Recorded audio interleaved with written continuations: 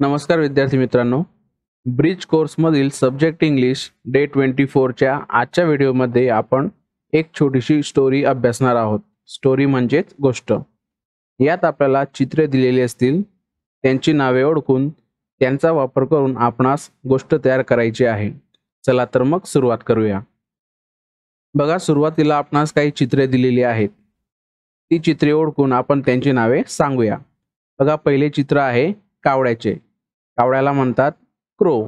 त्याचे नाव या ठिकाणी दिलेले आहे C R O W crow म्हणजे कावळा.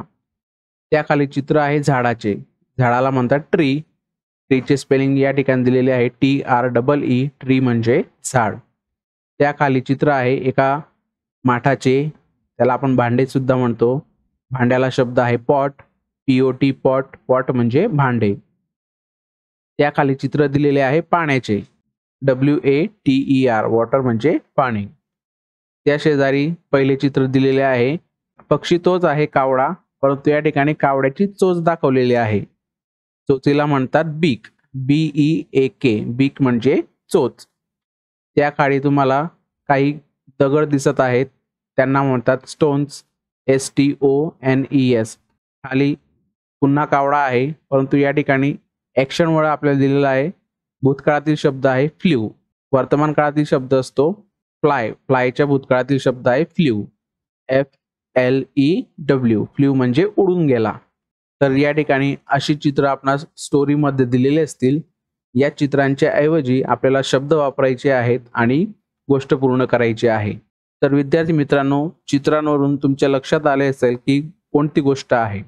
बरोबर तहानलेला कावडा आपण ही गोष्ट ऐकलेलीच असेल की एक कावळा होता तो झाडावर बसलेला होता. त्याला पाण्याची तहान लागते भांड्यात पाणी असते. पाणी कमी असल्यामुळे त्याची चोच ही पाण्यापर्यंत पोहोचत नाही. शेजारी दगड पडलेले असतात.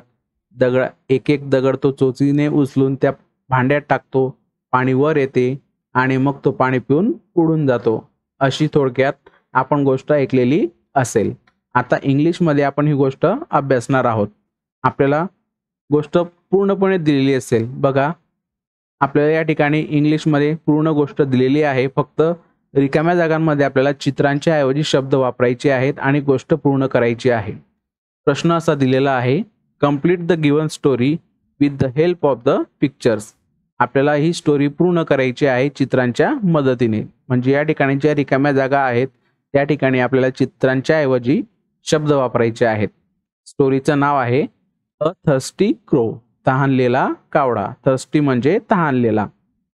बघा पहिलं वाक्य आहे once there was a dash dash एकदा एक काय होता? चित्र पहा कशाचे आहे? कावड्याचे आहे. कावड्याला म्हणतात क्रो. मग या ठिकाणी आपण रिकामी जागा भरूया. C R O W once there was a crow एकदा एक कावडा होता. He sat on the dash dash बघा चित्र पुढे दिलेले आहे झाडाचे. झाडाला म्हणतात ट्री तर तो कशावर बसलेला होता? झाडावर. He sat on the tree दुसऱ्या रिकाम्या जागा आपण ट्री असा शब्द भरला. ही वॉज व्हेरी थर्स्टी तो फार तहानलेला होता.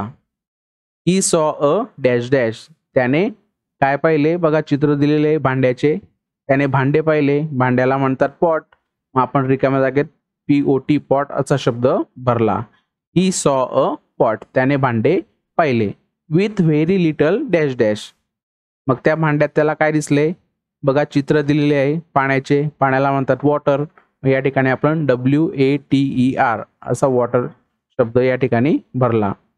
मग त्याने भांडे पाहिले with very little water in it त्या भांड्यामध्ये खूपच थोडेसे पाणी होते. He put his dash dash चित्र पहा. कावड्याची चोच तिथं दाखवलेली आहे. चोचला शब्द आपण अगोदर पाहिला. जोसला म्हणतात beak. He put his beak B E A K beak शब्द आपण या ठिकाणी भरला वाक्य झाले. He put his beak inside the pot त्याने त्या भांड्यामध्ये आपली चोच टाकली. बट कुडंट रीच वॉटर परंतु पाण्यापर्यंत पोहोचली नाही. After some time thought a plan आणि थोड्या वेळानंतर त्याला एक युक्ती सुचली. पुढे पाहूया. He picked some dash dash बघा चित्र दिलेले आहे. स्टोन्सचे या ठिकाणी आपण spelling भरूया. S T O N E S अशा रीतीने आपण या ठिकाणी स्पेलिंग भरले वाक्य झाले. ही पीक सम स्टोन्स त्याने काही खडक उचलले दगड उचलले and dropped into the pot आणि त्याने त्या भांड्यामध्ये टाकायला सुरुवात केली. वन बाय वन एक एक करून तो भांड्यामध्ये दगड किंवा खडक टाकू लागला. वॉटर कम आउट पाणी वर येऊ लागले. क्रो ड्रँक वॉटर कावळ्याने पाणी पिले अँड डॅश डॅश अवे बघा चित्रात दिसतंय. त्या चित्रासाठी आपण शब्द पाहिला flew F L E W flew म्हणजे उडून गेला. Crow drank water and flew away F L E W अशा शब्द आपण रिकाम्या जागेत भरला आणि तो कावळा दूर उडून गेला. अशा रीतीने ही छोटीशी गोष्ट या ठिकाणी दिलेली होती. आपल्याला फक्त या ठिकाणी चित्रावरून शब्द भरायचे होते आणि ही गोष्ट पूर्ण करायची होती. तर विद्यार्थी मित्रांनो अशा रीतीने आज आपण स्टोरी टाईममध्ये अथ स्टिक्रो ही गोष्ट या ठिकाणी अभ्यासली. आपण ही स्टोरी अभ्यासा आणि आपल्या वहीमध्ये या स्टोरीचे या गोष्टीचे लेखन करा.